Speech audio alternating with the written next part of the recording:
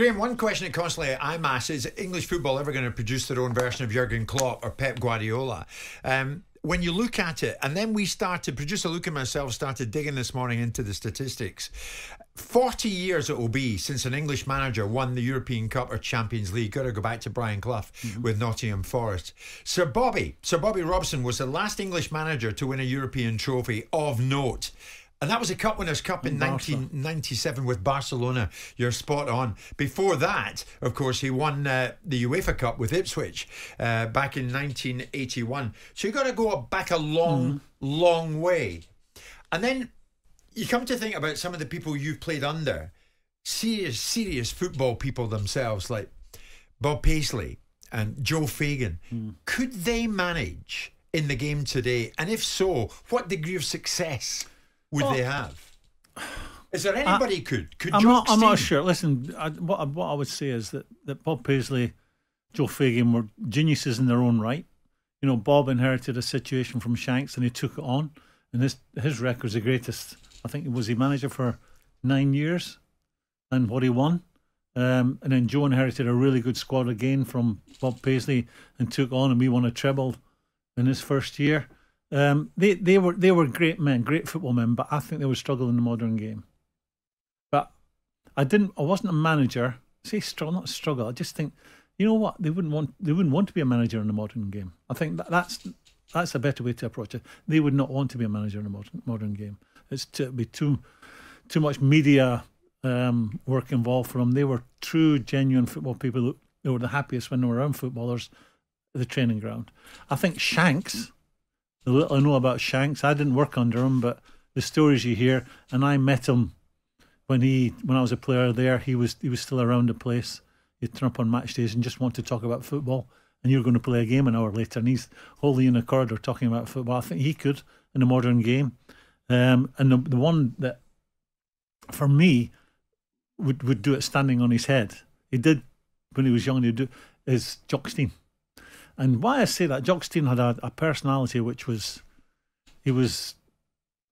I, I, was. I've always been a confident boy. I've always been sort of, you know, full of my own importance, no, right or wrong. Really, but I, I was. I was in awe of him. I was. I was.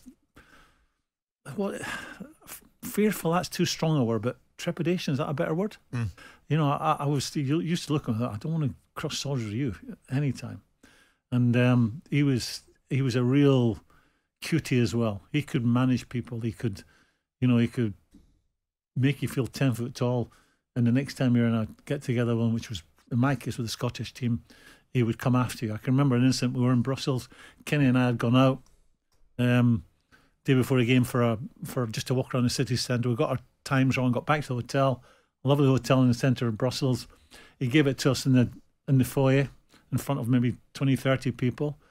And then we walked down the corridor, which seemed a hell of a long way to the meeting room where all the players were waiting for us. He gave it as we're walking down the corridor. Then you get into the meeting room and you sit down and you think, oh, that wasn't good. And then he gave it to us again in front of the players. And I think he worked on the premise that I can give it to these so the rest of you behave. Because we were you knew quite you senior players. Yeah, but he, he had a. This a was Jock Stein, of course. He had Lions, He had a Nora him, which was which, which, which was quite unique. And I, have got to tell you the story. The great Hugh McIlvanney, one of the greatest sports writers we ever had. Mm. I went for a lunch with him one day and I asked this question. I said, okay, there's a lunch taking place and there's Busby, there's Shanks, there's Revie and, and there's Stein. Who is the dominant voice? What did he say? Stein. So there's Busby, yeah. Shanks and Revie and Stein. All the great managers of the day. Who was the one they all listened to? Jock Stein. But it's interesting that yeah. from your yeah. Isles, from your part of the world, you fling forward these unique characters. Ferguson dominating Man United and well, elevating. Fer- Fergie, he, he was his apprentice. He was Jock Stein's apprentice. He hung on every word that Jock said. But there's something about the character that gets. That's why I'm always so and, and, joking to one side. That's why I'm so disappointed sometimes in the, in the state of Scottish football because of the players and managers that have flung forward, like him, like Hansen, like other players that you can name, like Dalglish, and you can go on and on and on. But I remember watching an interview that Bill Shankly did with Mavis Nicholson in 1970. I didn't watch it in '76, but I've seen it since. And you talk about managers being able to translate in their philosophies I think Shankly was a unique thinker, not just because of quotes like you know football is more important than life and death and stuff like that Yeah. that gets to- taken away, Yeah. but the way he looked at it in the most, and I think he would have been able to if he could have been bothered. See, with, like with- the current manager, Yeah, that that bond he has with the, the supporters. but the manner in which he dealt with young footballers and the thought processes of football, and, all that's different Yeah. now, Simon. That's a different. Oh no, but I think he I think he had the intellectual capability to be able to pivot and be a product of a new time. So I think someone like Shankly, if he could have been bothered, would have still been effective and cut through Yeah. in this day and age. Yeah, he wouldn't stand for any nonsense. You know, I, I do remember on occasion Scotland were due to play Sweden uh, in a match up in Sweden, and I suggested to him we should go there and win, shouldn't we? Though. Oh well, Uh, if you're good luck with that suggesting that, you're suggesting that. Oh yeah, it's nailed on then, isn't it? Everybody gather around. He's going to tell us how we're going to go. belittled you. Oh yeah, He was good and, at that. and he was good. And at the end of it, when we stopped running, he got a hold of me. He said, "Don't just think." I said, "No, I get it. I get it. We did win. Strachan scored. It was one 0 um, When you look back in it, Graeme, between 1997 and 1984. English managers lifted the, the, the Champions League trophy, European Cup, seven times in eight years. Unbelievable. I mean, so now who's going to bridge the gap? Who is going to bridge this gap? Well, you know, why has it happened like this? Why is there all the big teams are managed by foreign foreign coaches? Is it because they're foreign owners now? Is it because the influx of foreign players coming to the game? Um, you know, we have. Is it because countries have a good national team? You know, Spanish managers are popular, so they had a secret. The Spanish coaches because the Spanish national team was so good. Is it because of that? I, I I can't answer that. I think what I will guarantee you, there will be a an English guy or a British guy comes along who, like Fergie, will dominate and be manager of one of the best teams in the country. That will happen. Do you think that will happen, Simon? Po- Possibly. I think there's lots of reasons why.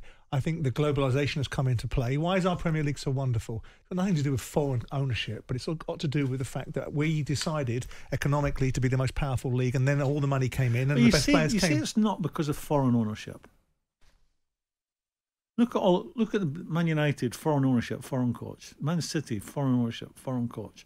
Liverpool, foreign owners, foreign coach. Oh, you look Chel- okay, look at Chelsea, and they gave a British, they gave an Englishman a chance in Graham Potter. Yeah. So they make the decisions based upon the best in class. and the, Arsenal, re- and the, foreign owners, foreign coach. and and and and the reasons why That's I a think, big. I think that's. I think Well, that's a bigger. it might reason. be part Maybe the interview better than English. maybe and, and, and maybe it's because English managers have been bone idle for years and years and years and institutionally uh, What- creative. Why do we? 'Cause I've watched you He's guys. a one-trick pony when No, I'm not. about It's not one-trick pony. It's consistency. English managers. He gets after them every time. because because there's a there, there was a there was a there was a also a, a, a complete and utter shtick from you guys, which is oh foreign uh, owners by first of all it started off with foreign owners foreign uh, uh, owners by foreign players because they're Oh. cheaper, right? Can we start again, so now please? every every aspect of the game has got so we've got foreign owners, foreign coaches, foreign managers, foreign players, right? Hmm. Why is that? Oh, I know it is because the British are so bloody good at everything, or is it because there's been a period of time through the 70s and through the 80s where the kind of football that we produced, with the exception of your Liverpool side, was pedestrian and poor, and ultimately our coaching You was philistine. Charles Hughes, Charles Hughes was a philistine Yeah, with some of his thinking, and so now we've got a situation where the foreign coaches have caught up and gone past us. And the reason why the Premier League is great is got nothing to do with English coaches or English coaching. but It's to do with every other aspect. You guys have been dragged there, kicking and screaming, so I and played, you don't like it. When I played at Liverpool, and that's the bloody truth. when I played at Liverpool, Too busy we, were- we yeah. attempting to play the exact same way as the, the successful teams do today. You, I just said you're an exception. dominate I just the said But you were an that's how football hasn't changed. Our idea was we'll dom- there'll be a bit of a war in the first 20 minutes. Yeah. We, meet, we match that, you know, tackle for tackle, which isn't allowed today. This is why it's easier to play today. So in the first 20 minutes of our game, half an hour, whatever it was, 45 minutes, with to roll our sleeves up, knowing that no one said, oh, today we're going to play Liverpool. Let's make it a jolly nice game of But it's a football. lazy they went to war with us. We had to deal with that. Jim. And then we sat, then we, we the, the game settled into a game of football and we would outpass them and outplay them and It's a outscore them. trope. And then when we played on a Wednesday night, football. when we played on a Wednesday night, it was a game of football for the first minute, and we could do that as well. But you were the So exception. That's what the best but you were the exception, Graeme. The question is, why is there no English coaches? And then you use an example of whether it's because foreign owners get foreign coaches. Now, the whole, No, the I'm- I'm whole, asking the question. pyramid. Well, have a look at it. Foreign owners, foreign managers, foreign coaches, foreign academy directors, foreign sporting directors, foreign players. Uh, what's the common denominator? English uh, and British managers No. aren't doing what they should be See, doing to be top up. of the tree. Right. Well, You well, finish. Jamie's got Are a you finished? point. No, the, my the point season is- before It's Wenger arrived in '96, there were 14 English managers in the Ma- Premier League. Season before Wenger arrived. By the time Wenger left football, there were four. Yeah, the, the, maybe the interview better. My point is, right now, Can't they interview better? Maybe- What? Unai oh, Emery You've had interviewed your- better. you've Unai had your Emery moment. interviewed better, You've- you've had your moment. He got handed out by the British right press. now, so you have got foreign owners. This is my point. Yes. You got foreign Carry owners. You got foreign owners who make the decisions who they employ. Oh, God. so maybe when they've gone down and have interviewed the guy from Oh, really?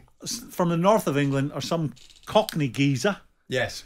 maybe they've chose this chap who speaks English in a very nice, very nice way. Yeah. We'll give him the job. I'm not. I'm, I'm dressing up as if it's all about how you speak. Because it's but, Yeah. but, but I I'm think uh, there's a whole series. Of, then I come back to Spain. Coaches. to do with. Spanish coaches were very popular.